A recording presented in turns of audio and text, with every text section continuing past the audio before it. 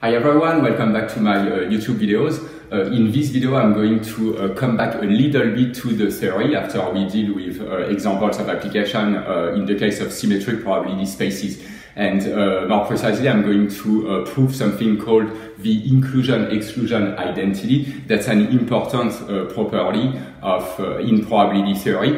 And uh, this uh, tells you how to compute the probability of a union of events. So here is more precisely the formula. So uh, one little comment about this formula, you remember that from the axiom of a probability measure, uh, the probability of a union is supposed to just be the sum of uh, the probabilities of all the events. So in this case would be the sum for k equals uh, 1 to n of the probability of ak. However, uh, this is only true when uh, those events do not overlap. Okay, so when they are mutually exclusive. Uh, but when uh, those events overlap, then we need to deal with uh, all the possible intersections of events.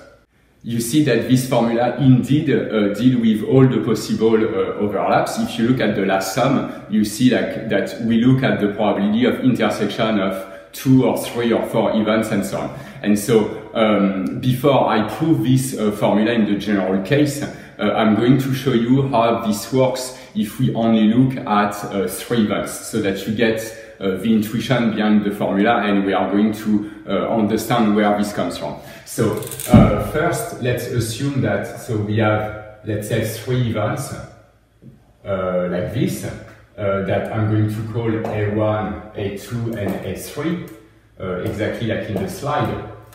And uh, let's look in this case at uh, just the probability of the union. I'm not going to prove anything, but at least I'm going to show you uh, kind of the intuition in this case, and so you, you kind of uh, have some intuitive idea of why uh, the inclusion-exclusion identity is indeed true. So, um, so the, assuming that those uh, events uh, were uh, disjoint or mutually exclusive, then uh, the sigma additivity or additivity or of uh, the probability measure tells you that the probability of the union where, that we are looking for here uh, is equal to the sum of the probabilities. So even if it's not correct in this case because of the overlaps, let's just write this and let's see what's wrong in fact. So we have P of A1 union A2 uh, union A3 uh, equals uh, P of A1 plus P of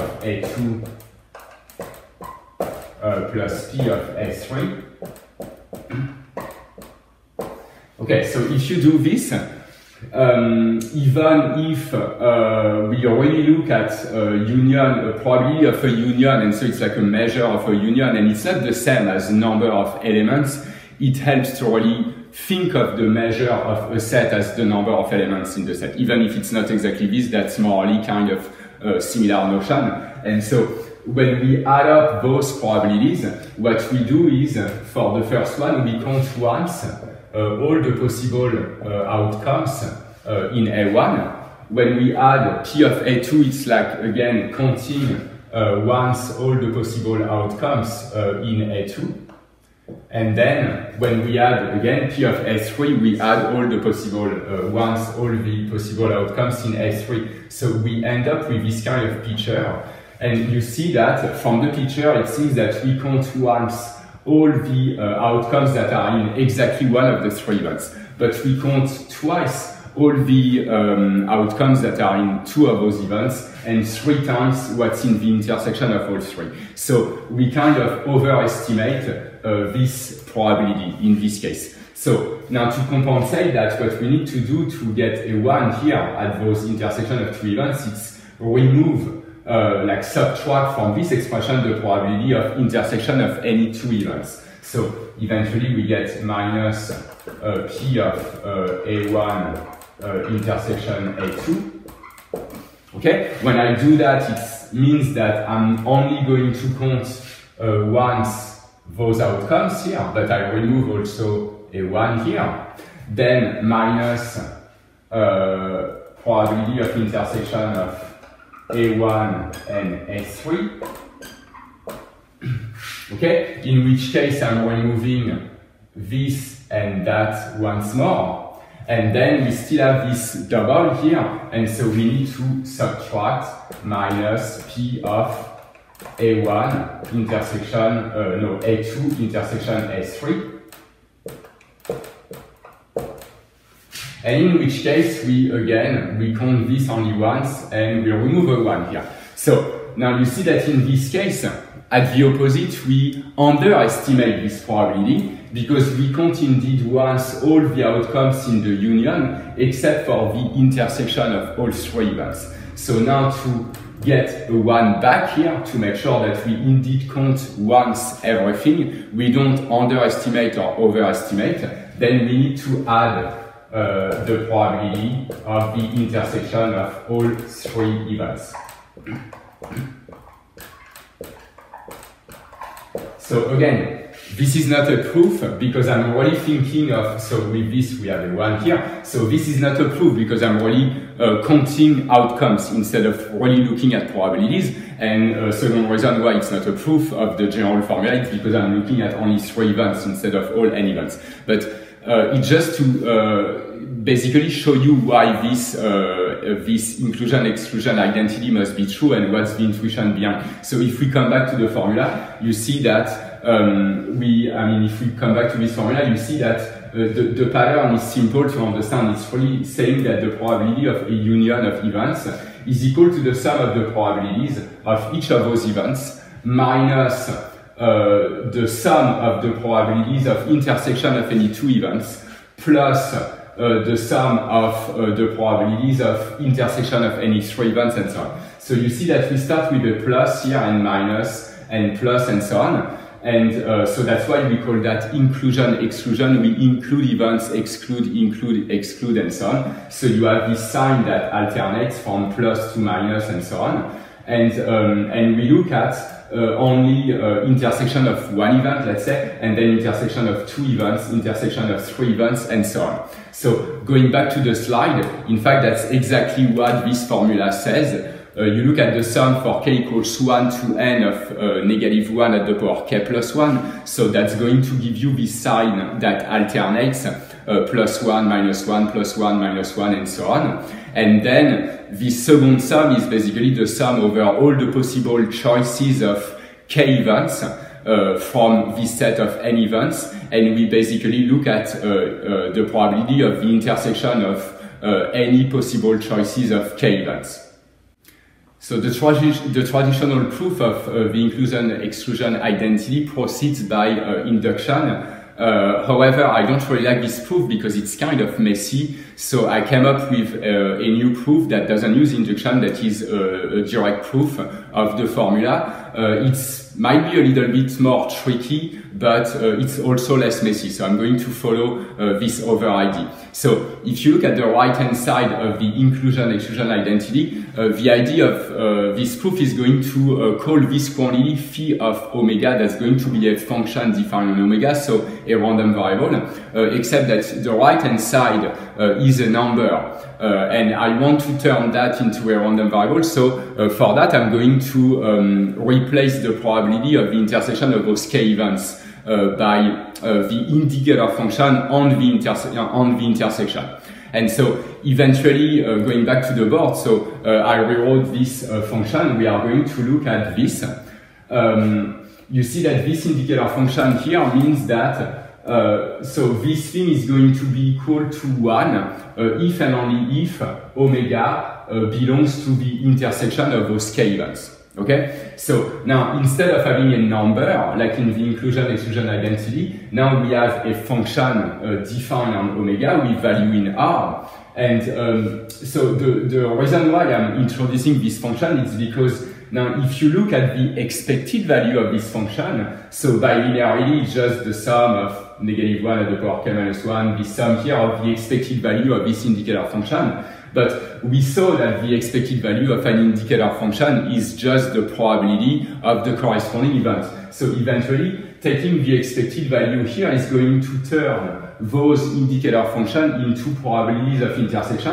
And so that means that the expected value of phi is exactly the right-hand side in the inclusion-exclusion identity. So now, uh, the only thing we have to do, in fact, to deduce the inclusion-exclusion identity is to prove that um, phi of omega is equal to either 0 or 1, and it's equal to 1 if and only if omega belongs to at least one of uh, the event AI, and then that's going to show that phi of omega is also equal to the indicator function on the union of the events. Then taking the expected value on both sides, we are done. So that's kind of the idea. and so to prove this, I'm going to um, uh, do some little easy calculation. In fact, uh, looking at uh, the total number of events, uh, total number of those events AI, uh, this little omega belongs to. So more precisely, I'm going to call, let's say, M. M is going to be the cardinal of i, so i between 1 and n, such that uh, little omega is in the event AI. So I didn't write in this expression, but indeed m is going to be again uh, something that depends on omega. So, but let's assume that omega is fixed uh, in capital omega, and then I'm going to, I'm defining just this quantity. Then uh, what, what we want to prove now, to prove that this is indeed the, the indicator function on the union of the events, it's to prove that if m equals zero, meaning that omega is in none of those events, then phi of omega is equal to zero. But if m is strictly positive, so meaning that omega is in at least one of those events, uh, in one, two, three, or m, n of those events, uh, then uh, phi of omega is going to be equal to 1. So how do we do that? That, well, the first case is pretty easy. Uh, if you look at m equals 0, so clearly n equals 0, so again, that means that omega is in none of those events. So that means that uh, no matter how many, like what's the choice of those, uh, of those uh, ij, uh, omega is never in uh, those intersections, even if you take only one event, so that means that all those indicator functions are equal to zero. So eventually phi of omega is just a sum, a double sum of zeros, so that's equal to zero. So n equals zero implies that uh, phi of omega is equal to zero, like we wanted. So now the case where m is strictly positive is a little bit more tricky, but uh, that's not too bad either. So uh, you just take m strictly positive now, and so uh, m strictly positive is going to uh, mean that some of those indicator functions here are equal to um, 1, but you see that if uh, k is larger than m, uh, then, um, and we know that uh, omega is in m of those events, so if k is strictly larger than m, then it's not possible for omega to be in all those events because you have more than n events. So that means that all those numbers again are going to be equal to uh, zero. That's when we take k strictly larger than m. So that means that phi of uh, omega is just the same sum, but stopped here at m. So I'm first going to write this. So in this case, we have uh, phi of omega uh, equals the sum for k equals 1 to m of negative 1 at the power k plus 1 times uh, this sum here. So now what about this sum? Uh, you see that what we do exactly is that we choose uh, k events. We look at all the possible choices of k events from a set of n events. Uh, I mean, in this case, uh, in this case, it's restricted to m. But so we look at all the possible choices of um, of um, let me see, yeah, k events out of n, and so we know that. Um, the, we now we want to count the number of possible uh, indicator function in this sum that are equal to one. So that corresponds to exactly the number of possible ways you can choose k events from the set of m events uh, omega belongs to. Okay, so we know that omega belongs to uh, exactly m events. So now if we take a little k and we choose uh, k of those events, then the total number of possible choices uh, that are going to give you this indicator function equal to 1. So that's the total number of choices of k events from a set of m events. Uh, and, uh, and those m events are the m events omega belongs to. And so that means that in fact this sum, if you just uh, don't try to compute, but you think of this sum in terms of uh, combinatorial point of view, that's exactly, that's exactly going to count uh, the, the number of possible choices of k events from the set of m events omega belongs to. That's, so that's just uh, m choose k. So we end up with this uh, nice simplification, and you see that in this case, uh, it's exactly of the form uh, sum for k equals 1 to m of m choose k times, let's say, a at the power k times b at the power uh, at the power m minus k. So we can use the binomial theorem to compute this sum. There is some little adjustment to do uh, because the sum starts at 1 instead of 0 and we have a k plus 1 instead, but that's not difficult to deal with. So eventually, um, what we want to do is uh, something of the, of the form, so to say that this is equal to the sum uh, for k equals 0 to uh, m uh, of uh, m choose k. And then uh, we still have this uh, minus 1 at the power, let's say, k. So this, we know what it is. We know what it is because that's of the form, again, sum of m choose k minus 1 at the power k. And then I can write here, if you want, a 1 at the power m minus k really underline the fact that indeed that's uh, in the context of uh, the binomial theorem. So um, now we have this sum, and uh, clearly, so the difference between those two is that here we have a negative 1 at the power k plus 1, here at the power k. So that's the opposite, in fact, so we should have a minus here. But then when we do this, uh, we, we again don't exactly have the same expression in the sense that here we are missing one term. I mean, here we are missing one term compared to here. So here we start at k equals 0. Uh, for k equals 0, that gives you n choose 0, that's a 1. And then again times 1 here. So the first term in the sum is a 1 with the minus, that's a negative 1 that we don't take into account here. So what we need to do uh, to indeed have equality is just to add a 1. I'm going to add the 1 here. So this is equal to 1 minus this sum, okay?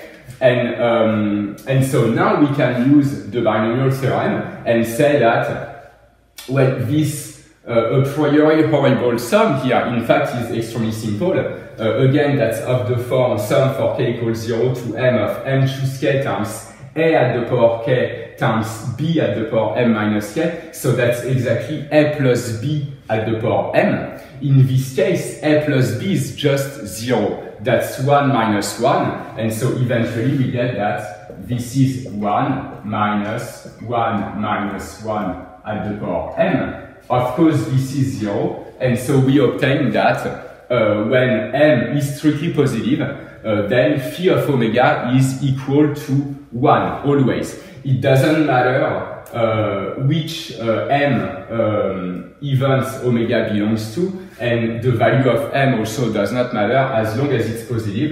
Uh, then phi of omega is always going to be equal to 1. So now that's one more piece of information we have, and from that we can easily conclude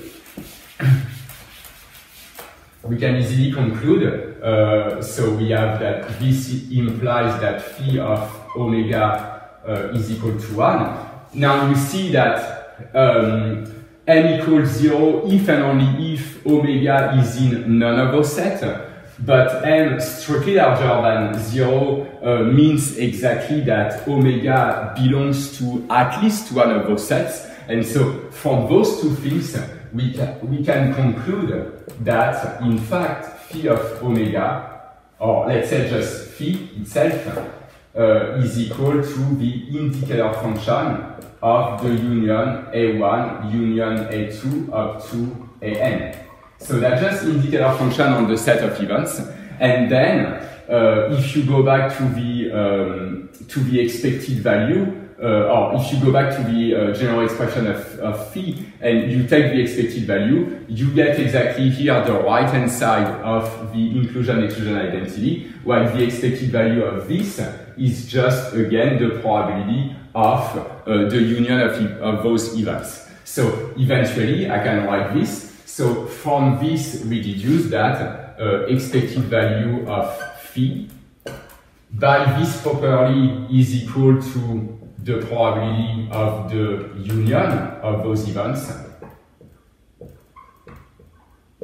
But that's also equal to by linearity of the expected value to um, the sum here for uh, k equals 1 to n, negative 1 at the power k plus 1, and the sum over all the possible choices of uh, k events from those n events uh, of uh, so expected value here is going to become expected value of the indicator function. Like here, that's going to become the probability of the intersection.